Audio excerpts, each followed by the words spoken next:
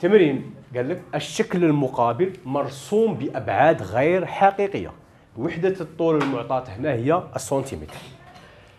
المستقيمان CD و FB متوازيان. طعنا مستقيمان متوازيان. يعني أحسب الطول AC. من بعد السؤال الثاني هل المستقيمان دي ا بي متوازيان؟ يعني هنا مين قال لك هل؟ معناه إما يكونوا متوازيان أو غير متوازي هنا عكس.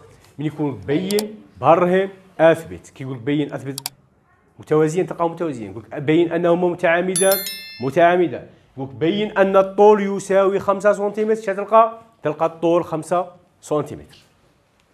بين أن المثلث ABF قائم بمعنى أن المثلث غادي نلقوه قائم. شيء الخاصية اللي نوظفوها هو كيف نوظفوها. نبدو. المستقيمان CD و FB متوازيان. نقبض الستيلو تاعي واش قال لي FB ها هو FB مع من؟ مع سيدي متوازيان. زيد شا قال لي قال لي احسب الطول. AC. الجزء هذا نحتاجه؟ لا لا. تسمى الشكل تاعي راه مركب. راه فيه وضعيتين تاع طالب مثلثين معينان بمستقيمة متوازيين مقطع مقاطعة. عندنا الوضعية الأولى وعندنا الوضعية الثانية. زي متفاهمين؟ لي حساب الطول اسي حساب الطول آسي ما هي الخاصية؟ الخاصية اللي نستعملها. خاصية طالس العكسية. مباشرة. آه مباشرة. نعم. العكسية شنديروا نديروا بها؟ نثبت التوازي. ممتاز. وال مباشرة. نحسب طول. ممتاز. هاكي مركزة معايا جيد. مبروك. رانا عارفين وين رانا نمشي اذا شنو الشروط اللي نديروهم باش نطبقوا طالس. الاستقامية والتوازي. استقامية عندي ولا ما عنديش؟ نعم. شكون؟ النقط شكون هما؟ A B C والنقط A F D.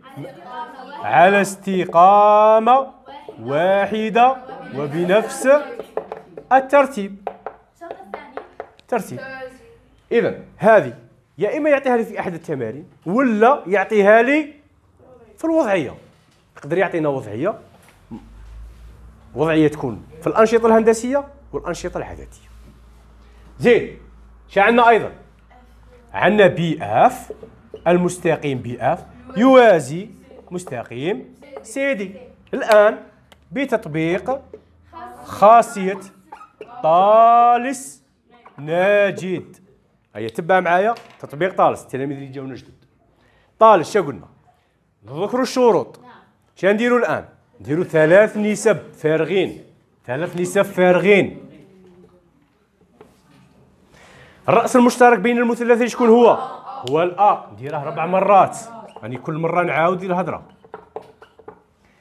نقط على استقامة واحدة.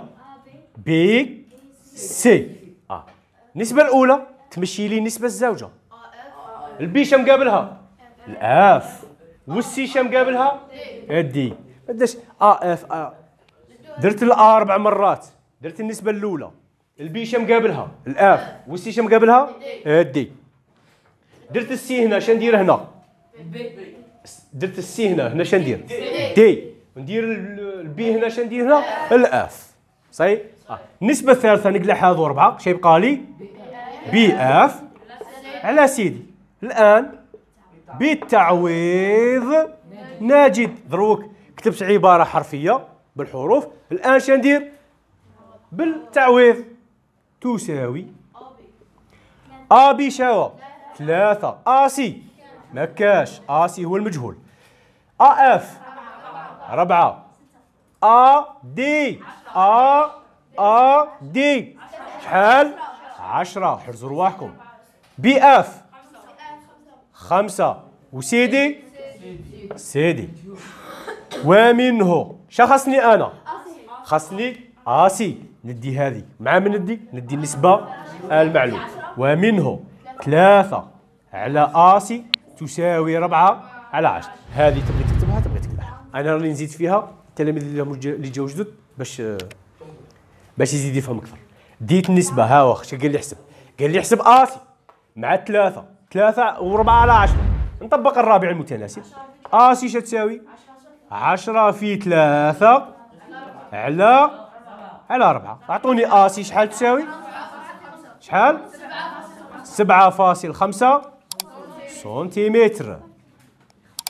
إذا اسي تاعي شحال؟ سبعة فاصل خمسة. دروك كملت مع السؤال الأول. شنو طبقنا؟ طبقنا طالس المباشرة. دوك نروح للسؤال الثاني.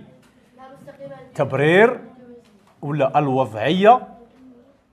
النسبية للمستقيمين. شكون هما المستقيمين؟ دي أو و آ بي. شا معنى وضعية نسبية معناه يا إما يكونوا متوازيين متعامدين غير متو... ولا متقاطعين. ولا متقاطعين. يعني هنا قال لك بين أنهما متوازيان يا إما نثبت أنهما متوازيان أم غير متوازيان شنو الخاصية اللي نستعملها؟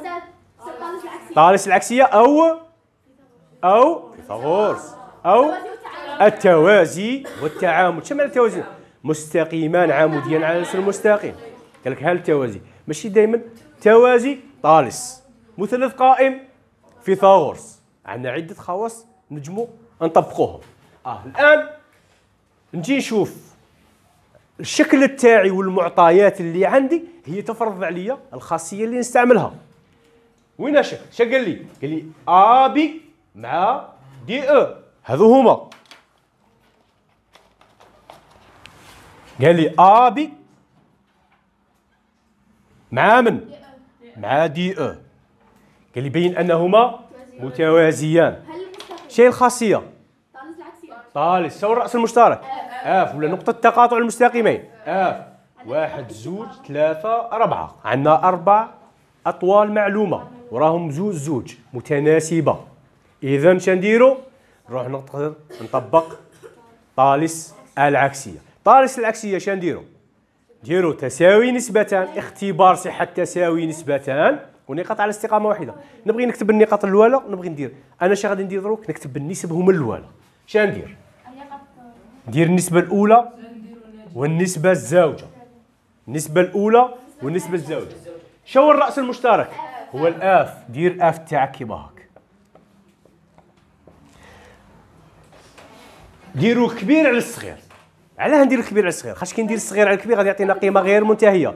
وهنا من من شنو نكتبوها؟ نكتبوها نكتبوها على شكل كسر غير قابل للاختزال. بصح كي ندير الكبير على الصغير غادي يعطينا قيمة مضبوطة. شكون الكبير؟ دي على الأ الدي شا مقابلها الأو ها هي. الدي شا مقابلها الأو والأ؟ الأ الأ الأ الأ الأ شا مقابلها؟ البي نعوض الآن تعويض عددي. اف بي شحال؟ ستة. اف آ؟ أربعة. F E سبعة فاصل خمسة. وال F B خمسة. احسبوا لي هذه على هذه. واحد فاصل خمسة. واحسب لي ذا على ذا. واحد فاصل خمسة. ومنه نكتب من العلاقة واحد واثنان ومنه F D على F A شيء يساوي؟ F E على F B ويساوي واحد فاصل خمسة. آه دروك هل يكفي تساوي نسبتان؟ لا. شيء معها النقط والنقط شكون هما النقط A F D والنقط B F E مالهم؟ على استقامة واحدة. وبنفس الترتيب. إذا في الأخير في الأخير المستقيم آبي يوازي المستقيم دي حسب خاصية. طالس العكسية. حسب خاصية طالس العكسية. مفهوم السؤال الأول زوج. دروك نروحوا للسؤال الثالث. شو قلنا السؤال الثالث تبيان أن المثلث شكون هو؟ A بي آف قائم. ورا المثلث؟ ها هو المثلث تاعي. ها هو حددته. قال لي بين أنه قائم. شو هما الخواص. كاين فيثاغورس العكسية. كاين الدائرة المحيطة بالمثلث. المتوسط المتعلق بالوتر. المماس قطرة مربع أو معين. هذو كاع نروحوا نقدروا نثبت بها أن المثلث قائم. خاصية التوازي والتعامد. كيعطيك مستقيما عموديا. إذا المثلث قائم. من بين كاع هذو؟ عندنا الخواص كل خاصة خاصية شي عندها؟ عندها مميزات تاعها الشروط تاعها. كي نجي نشوفها شي الخاصيه اللي نستعملها. شايا فيثاغورس العكسية. علاه نقدر نطبق فيثاغورس العكسية. علاه عندي ثلاث أطوال معلومة. راه عندي ثلاث أطوال معلومة. مدروك ما دام عندي ثلاث أطوال معلومة نطبق فيثاغورس اذا لدينا A B F مثلث فيه. خاصية فيثاغورس العكسية شنو ندير؟ أطول ألو... أطول ضلع شكون هو؟ B F. ما نقولش وتر B F تربيع. الربعه اش يعطينا؟ يعطينا خمسة تربيع شحال تساوي؟ خمسة وعشرين. نسميها واحد. تبع معايا. زيد صاي كملت مع اطول ضلع شي يبقى لي يبقى لي الضلعين الآخرين. A B تربيع زائد A F. تربيع يساوي. ثلاثة تربيع زائد ربعة تربيع. تعطينا تسعة. زائد 16 شحال تساوي؟ 25 هذه علاقة اثنين. نكتب من واحد واثنان. نستنتج أن. B F تربيع تساوي A B تربيع زائد A F تربيع. هذه العلاقة وين نشوفوها؟ وين نشوفوها؟ في فيثاغورس المباشرة. نشوفوها في فيثاغورس المباشرة فقط. فيثاغورس المباشرة وين نطبقوها؟ في المثلث. وين يكون عندي مثلث قائم. تم العلاقة محققة. إذا المثلث A B F قائم. في A حسب خاصية.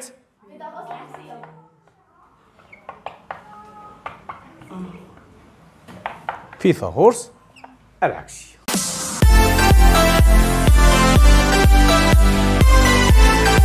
Thank.